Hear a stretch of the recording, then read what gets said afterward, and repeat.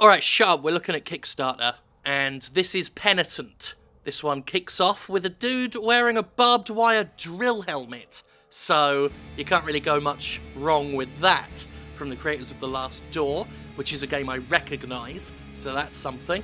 Already, they're going quite well with this. It's all pixely and side scrolly. Do you remember when I used to cover a lot of those on Greenlight? Well, I'm doing it with Kickstarter here now. But to be fair, fucking look at it. It's a dude with a big old drill hat and a sword and he's just hacking this fella up. Look at that, he doesn't care.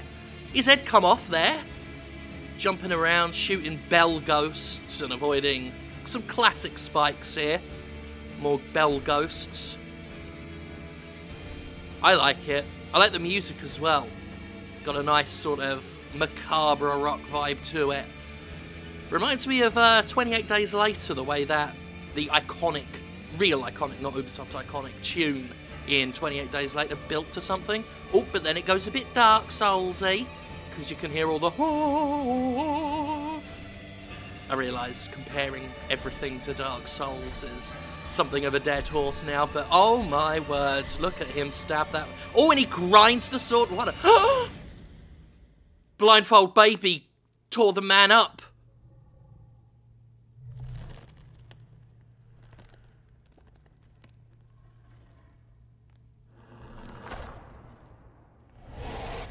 Oh yeah, and you're gonna need Tree Satan. Alright, well. I called it the Penitent, didn't I? That's the name of the hero. The game's called Blasphemous, Jim, you fucking idiot. Trailer's still going. It's fading out now. Now it's done. Let's have a poke around the page. Okay, we're going to poke around the page now. That's a new thing that we're doing, because alliteration in it. So, what is Blasphemous? According to the headline here, it's a dark and brutal 2D non linear platformer. How exciting! Vanquish bloodthirsty creatures, the devotees of a twisted religion, handcrafted pixel art action game by the makers of The Last Door. That'll be the game kitchen that you see there in the top left corner. Now, we're not going to do this for every game featured here. Uh, I wanted something big and impressive to kick us off, if indeed this becomes a series and isn't just a waste of everyone's time and is a load of bollocks. Uh, but what I'd like to do is with Greenlight good stuff now on the shelf because Greenlight's gone, I still want to try and shine a torch on promising looking new games, and Kickstarter is obviously a good place to do that. So from henceforth, uh, I will be attempting to browse through Kickstarter looking for good things, and this game gave me the idea to do that. Uh, in future, we won't do things that have $50,000 goals and have already made $221,000. I'd say that's pretty clear, but uh, we are going to poke around this page just to, just because, as I said, this one was the inspiration, so I feel like I should feature this first, and then we'll look at ones that uh, could benefit more from a potential leg up, if indeed this works out well. So, Gonna look through the page together. That's what we're gonna do. Go down here about this project. PayPal. You can do PayPal if you want. Uh, here are some flags if you like countries. Add-ons. Uh, so this is all stuff you can get as extras if you want. If you want to just give them some more money. Game key, t-shirt, poster, art book. Uh, let's skip all this for now and just look at the game. Blasphemous is an action platformer that combines the fast paced, skilled combat of a hack and slash game with a deep and evocative narrative core. Okay? Okay. Delivered through exploration of a huge universe comprised of non linear levels. Immerse yourself in a dark fantasy nightmare that has been constructed pixel by pixel by our committed artists. It's good that we do this in real time now because there's a lot of GIFs, and GIFs are nice to look at. See a GIF here, Got that stabby coming up and jumping over a guy and slashing. Looks very nice. Um, reminds me of um, it clearly doesn't remind me of it because I forgot the name. Slain. There we are. Uh, you remember Slain? That game that came out and wasn't very good, but then came out again and was surprisingly pretty chuffing good. Uh, that's the early reminders here, as well as the obvious, you know, Dark Souls thing. I need to do a video about Dark Souls comparisons at some point. There's a case to be made for them. Uh, but, but anyway, gameplay. The core of Blasphemous, fast, intense, satisfying action combat, fight and slay creatures, each one bigger, more fearsome than the last. Seems fair enough. Chain encounters at the right pace, you will unlock the Martyr's excommunication mode, becoming almost unstoppable. So you hit things with the right timing and you, you get powerful. Epic boss battle. Oh, there's the baby. Epic boss battles await you. Enormous and fierce creatures. We've certainly seen that. Look at that.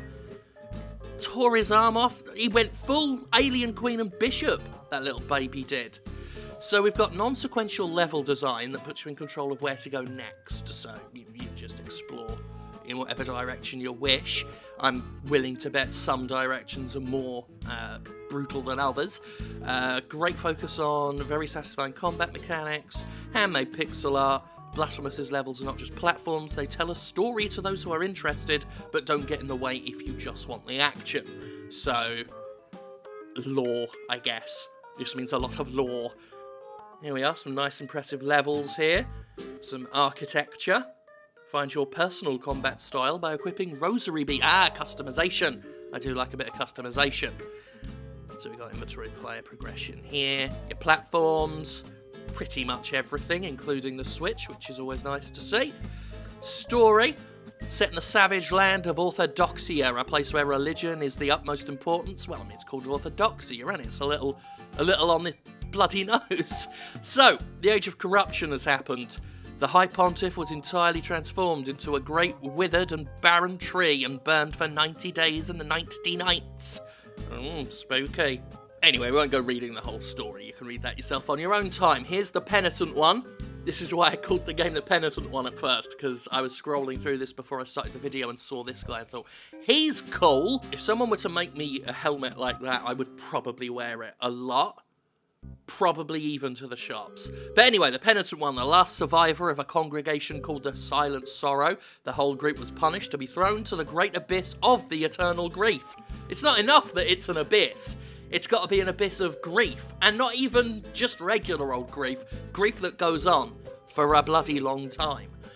Okay, you got some enemies here. Acolyte, little uh, skeleton-faced boy there. Flagellant. Oh yeah, he certainly is that. Sister of the Our Lady of the Burnt Face. Okay. Weight of her burden. Oh, that's a cool looking enemy. That's actually quite cool. Like a, I think, like a naked woman crucified to an angel statue that she's using as a weapon. That's some very interesting design. Condemned, Processioner. That also is actually that looks a lot like the the cages from Dark Souls 3. I think that that is a very apt comparison. Okay, concept art. Yeah, oh, really nice art. I really like the art style on this. Procession of flagellants. Look, they got some pointy helmets. Audio, game kitchen, the last door. Yeah. People, status, rewards. So, we'll go through the rewards. I feel like that's something we should do on a Kickstarter video. So, thankful, that's your $1. Uh, just updates the, the usual stuff. Uh, the Penitent, $20. You get a download of the game and a welcome kit, wallpapers, ringtones. The Follower, 25 or more. Uh, you could choose the Follower for PC and the Follower for PS4, Switch, blah, blah, blah. Beta access, digital OST, access to development forums, name in the credits, and as usual, everything included in the other stuff. The Disciple, that's 40 bucks. You get uh, the Disciple, you get. Uh, what else you get? Everything. Everything. Monthly builds and future development prototypes. The Cultist, you get a t shirt with that one. That seems to be the main thing there. The Adora, choose the Adora for PC. Da, da, da, uh, okay, what does that come with? Poster and everything else. Scribe, book, Got an art book on that, the Tabernacle. Tabernacle, one of my favourite words, if I'm perfectly honest with you. Uh, that's a printed laser cut game scene. Well, that looks very cool. That does look nice. Uh, the Immortal, Uh, you get a rare collectible required for a trophy achievement. Oh, so that's an in-game bit of content for 250. The Martyr. Uh, that comes with a pixel portrait, custom made.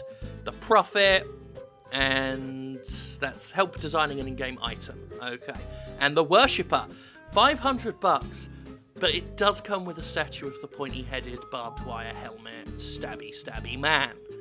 And I am a bit of a sucker for game statues. Hmm. Because another thing I think I'm going to do is put my money where my mouth is each time I do one of these videos. So if I feature a Kickstarter video, I'll back it at some level. Uh, I haven't decided what that level would be. Uh, I mean, it'll never be the $1 tier, but it'll always be something of some substance.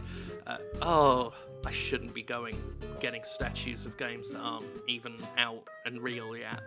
But the other thing is the Punisher at a thousand bucks. You can design a boss creature, plus you get all the physical rewards, everything else. And oh shit, no, sorry about that. 2000 here. Join the development team as we celebrate the launch of the game in Spain. Uh, visit all the mysterious locations, share with you all the meaningful folklore. So you go to Spain for two grand if you want. And here's a closer look at those rewards. Oh, that's nice. The artwork scene, which also does look very nice. Your portrait, blasphemous comic, your add-ons. So that's that. That is blasphemous. Dark and brutal 2D non-linear platformer. Uh, four days to go on this one. They are well above their goals. They're on their stretch goals now. That's another thing we need to look at. They've reached all this bosses only mode, new game plus. I like new game pluses, nightmare mode, render modes, weekly challenges, extra level designer, simplified Chinese, Japanese online features, seeds, uh, extra game programmer, persistent boss creature, optional fight against special boss that has global persistent difficulty, digital comic. Uh, live instruments and soundtrack, and they're going for alternative skins for backers, then some other stuff. Oh, 300,000 voice acting for NPC and some bosses. Um, I didn't see that before, but if they do, I mean, my rates are cheap. That's all I'm saying. My my voice acting rates are very cheap because I'm not very good. So there we go. That is blasphemous. Dark and brutal 2D non-linear platformer, and hopefully this will be a, a, nice new way to still keep paying forward stuff to the the indie industry and everything. Uh, now that greenlight good stuff can't be a thing, maybe, maybe this was crap. I don't know, but I'll see you later. Bye.